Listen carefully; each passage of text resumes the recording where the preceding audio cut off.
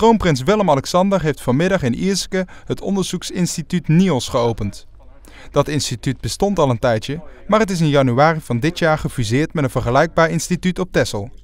De prins onthulde een beeld en kreeg een rondleiding langs een aantal onderzoeksprojecten. Het NIOS gebruikte het bezoek van de prins om een pleidooi te houden voor het belang van zeeonderzoek. We zijn als land afhankelijk van de zee en we zijn afhankelijk van het klimaat. En het klimaat wordt gemaakt in de oceaan. En er zijn dus heel veel belangrijke redenen waarom wij naar die oceaan willen uh, blijven gaan. En, en zorgen dat we die kennisbasis hebben om met die toekomst om te gaan. Het instituut wil bovendien iets doen aan de relatieve onbekendheid in Zeeland. Want uh, wij hebben heel veel kennis van de wateren in de Zeeuwse uh, provincie.